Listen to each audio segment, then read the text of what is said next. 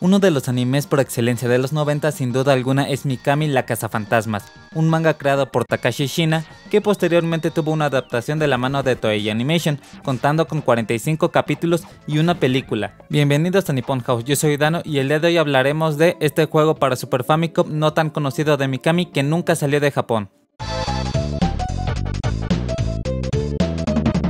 Reiko Mikami es una cazafantasmas que se dedica a exorcizar espíritus y fantasmas, siendo muy sensual, valiente y osada que ama por encima de todo el dinero. Siendo la mejor de todos, sus servicios son muy concurridos, pero por eso mismo sus facturas no salen nada baratas. Ella cuenta con un ayudante de preparatoria llamado Yokoshima, que por azares del destino termina endeudado con Mikami. A ellos se les une una fantasma llamada Okinu.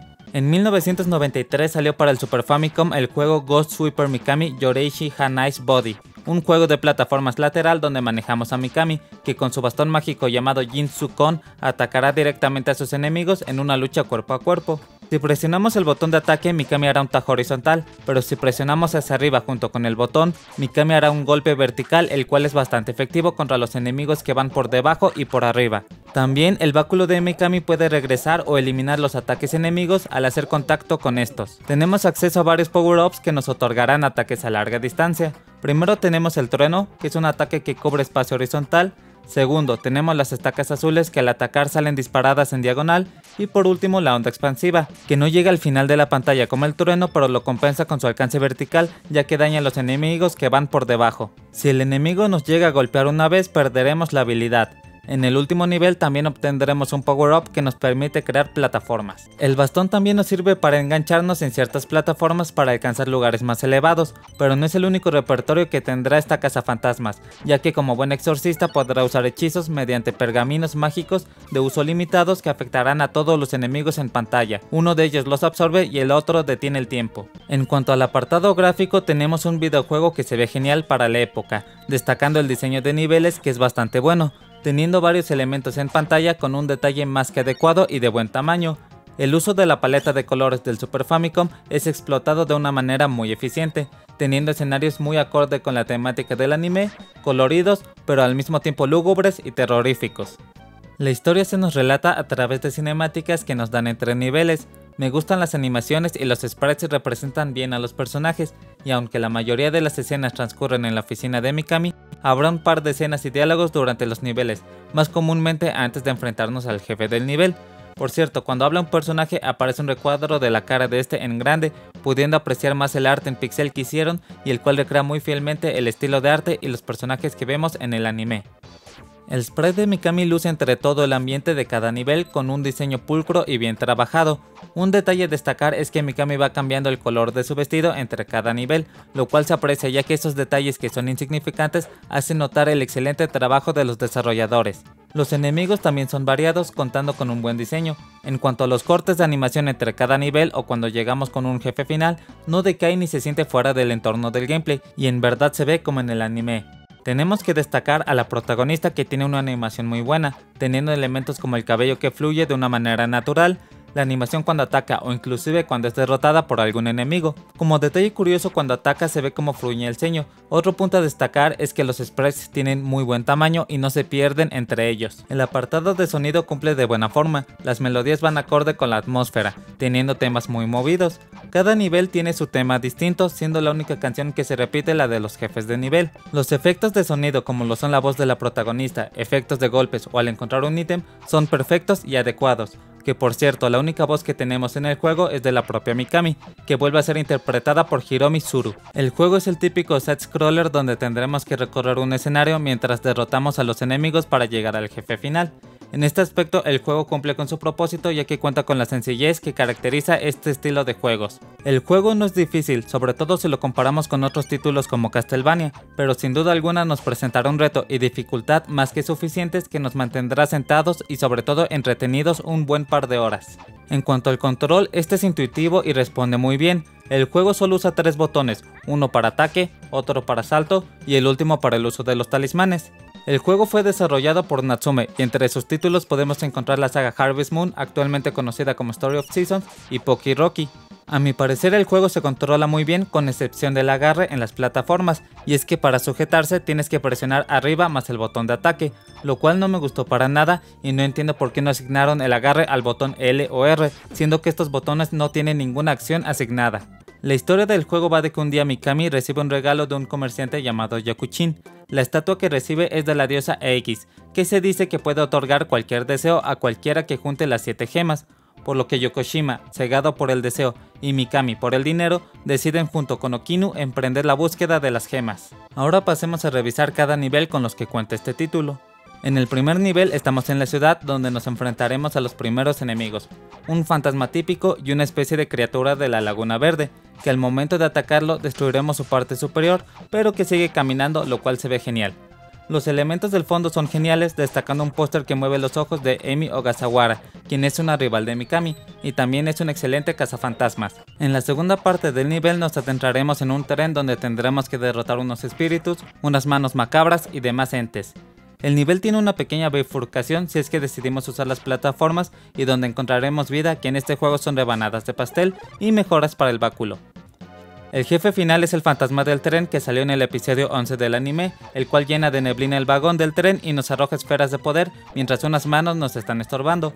Al ganarle encontraremos la primera gema para la estatua. En el segundo nivel estaremos en una montaña con un río que siempre nos estará empujando hacia el lado izquierdo de la pantalla. Esta montaña conecta con una mansión embrujada. En este escenario repite el monstruo del primer nivel, pero ahora tenemos enemigos de agua como pirañas, un alga que nos arroja una esfera, ranas que son súper molestas con sus saltos, pero la mejor forma para deshacernos de los enemigos es usando el golpe vertical, ya que por su gran rango de efecto dañará a los enemigos que van por debajo sin necesidad de agacharse. En este nivel usaremos más las plataformas que nos permitirán atravesar unos acantilados. En la segunda parte del nivel estaremos en la parte superior de la montaña con una cascada en el fondo y estaremos saltando entre plataformas. Aquí nuestro mejor aliado serán los power-ups que nos permiten lanzar ataques a distancia, ya que tendremos como enemigos unos murciélagos, unos demonios pequeños, unos peces que saltan desde la parte inferior de la pantalla y una esfera que nos lanza electricidad. Aquí se complica un poco más la cosa por los enemigos que siendo voladores su patrón de ataque es algo confuso. En lo más alto y después de eliminar algunos enemigos y esquivar rocas que caen, llegaremos a la mansión embrujada, que según la historia es un edificio anexo abandonado de unas aguas termales que están cerca donde encontraremos al jefe, que es Mona-chan, la muñeca de Mikami que aparece en el capítulo 3 del anime. Su patrón es relativamente sencillo ya que atacará con las manos gigantes que tiene a los lados, las cuales harán movimiento antes de atacarnos, y si les pegamos interrumpiremos su ataque pero la pelea se complica porque Mona mandará otras muñecas a atacarnos, lo que nos complicará la batalla. Al inicio del siguiente nivel llega un demonio y ataca a Mikami con un dardo lo que ocasiona que se haga pequeña. En este nivel estaremos encima de un gato que corre por los tejados de la ciudad, convirtiéndose en un nivel set scroll automático, lo cual lo hace sumamente dinámico por la velocidad y los enemigos que nos atacan de todos lados. Aquí nos encontraremos unas palomas que nos arrojan cosas y otras que caen en picada para atacarnos.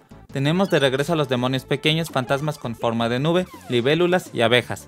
Durante una parte del escenario seremos atacados por aves, pero estas no atacan al azar, ya que si se fijan con detenimiento en el fondo, nos da pistas de la dirección de donde van a venir. Todo esto se complementa con algunos obstáculos que dependiendo de la altura deberemos agacharnos o saltar para evitar daño.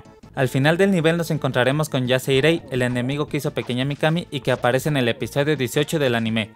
Este jefe es un poco más complicado si es que no llegamos con ningún power-up, ya que deberemos de acercarnos para atacar, y al hacerlo puede lanzar un golpe, por lo que debemos de tener cuidado. Los dardos que avienta se le pueden regresar o agacharnos para esquivarlos. También puede aventar objetos al cielo que caerán después de un tiempo, los cuales también podremos mandarlos a Yaseirei para hacerle daño o esquivarlos. Pero para mí su ataque más molesto es cuando avienta varios monstruos. En el cuarto nivel nos adentraremos en un parque y diré que es el nivel más complejo ya que tendremos rutas múltiples dependiendo si tomamos el camino de arriba o de abajo. Entre los enemigos que veremos tenemos tentáculos con un ojo, caras voladoras y árboles que nos avientan plátanos, pero creo que los más molestos son los tomates asesinos voladores que te persiguen por toda la pantalla y su variante más grande, que al atacarlos suelta cuatro tomates pequeños.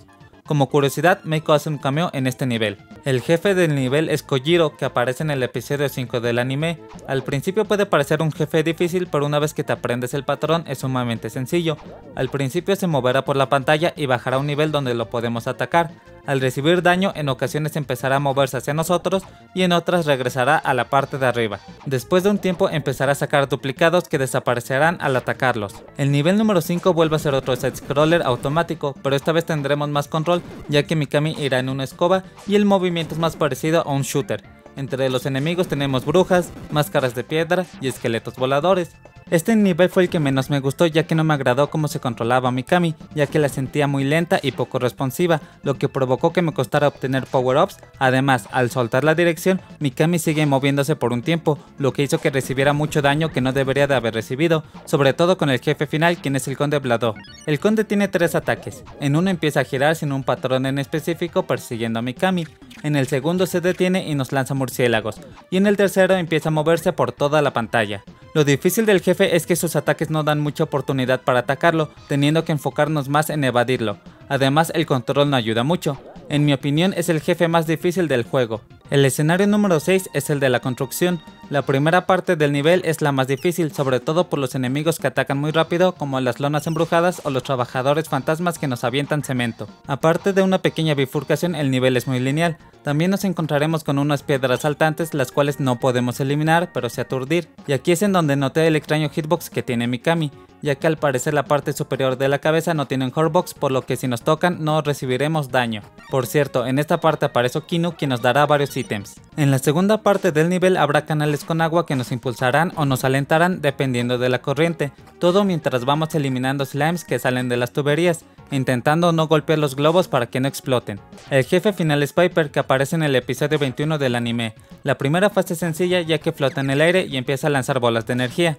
La segunda fase es más complicada ya que puede convertir a Mikami en niña, lo que nos deja indefensos a los ataques, para evitar esto hay que eliminar a los payasos con trompetas que empiezan a invocar. El escenario número 7 es el último y es el mundo de los sueños de Yokoshima. Aquí nos darán el power up de la bandera el cual creará hasta dos plataformas al mismo tiempo. Cada vez que el escenario se vuelva rojo la gravedad cambiará y al principio el nivel es un poco confuso pero fuera de eso diré que es un nivel muy fácil. El jefe del escenario es Nightmare que aparece en el episodio 43 del anime, aunque en realidad el jefe es una aparición de Mikami más joven. Es una pelea un tanto complicada pero usando los talismanes para tenerla y manteniendo la distancia es fácil de derrotar. Una vez eliminada la aparición, solo quedará golpear a Nightmare unas cuantas veces para terminar el nivel. Con todas las gemas reunidas, la entidad maligna de la estatua es liberada, siendo Medusa, un enemigo que aparece en el capítulo 28 del anime y para ser el jefe final no es muy difícil. La plataforma en la que estamos cambiará de balance dependiendo de dónde estamos, pero podemos usar esto a nuestro favor para atacar a Medusa, quien nos lanzará rayos, atacará con su lanza y nos arrojará un monstruo, pero no tiene un patrón tan complicado y después de enfrentarnos ahí un par de veces la pelea será sencilla. Y aquí acaba Mikami de Super Famicom, la verdad creo que es un juego muy disfrutable para tanto fans como para los que no son. El juego te da continuos ilimitados por lo que podremos repetir los niveles cuantas veces queramos, y también tiene un sistema de password, que nos permitirá continuar desde donde lo dejamos o repetir algún nivel que nos haya gustado. No es un juego muy largo y se acorta mucho más si es que ya sabes qué esperar, diría que en promedio no te tardarás más de dos horas en pasarlo. Supongo que también pensaron en el público que probaría el juego por ser fans del anime, y por eso no hicieron un juego tan largo o difícil, sino uno que sea accesible para un público nuevo en el género. Por lo que si tienen la oportunidad denle una checada al título, no se van a decepcionar. Y eso será todo en esta ocasión, si les gustó el video denle like y suscríbanse que eso nos ayuda bastante. Y antes de despedirme quiero agradecerle a los miembros de este canal, Yurian, Chris y Luis por su apoyo. Ahora sí me despido, yo soy Dano, esto es Nippon House y espero verlos en el próximo video, hasta luego.